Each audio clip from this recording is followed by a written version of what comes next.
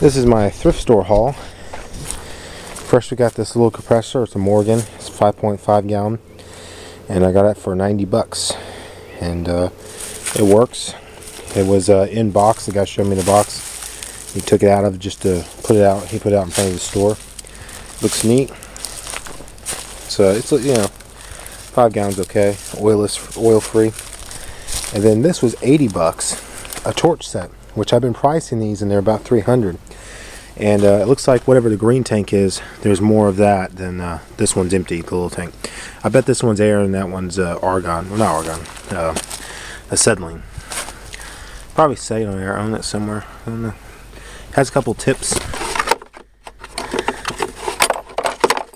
And uh, this thing. Which is, that's a good, that's a good buy right there. Yeah, I turned that knob and that's on. Uh, I turned it off right now, but yeah. And then uh, this, I guess you turn that to turn the air on. So yeah, I'd a pretty good deal. And then, uh, so that was 80.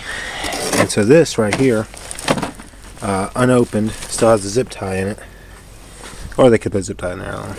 This was, um, guy said 25, and I said, how about 20? He said, okay. How many piece set is this? It's a 34 piece wrench set. Pretty good. Includes C, millimeter, standard, yeah.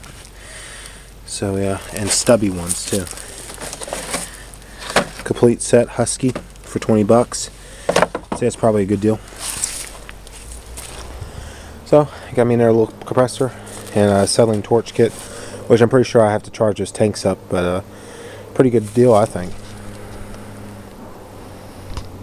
Tell me what you guys think. Torch, compressor, ratchets, wrenches.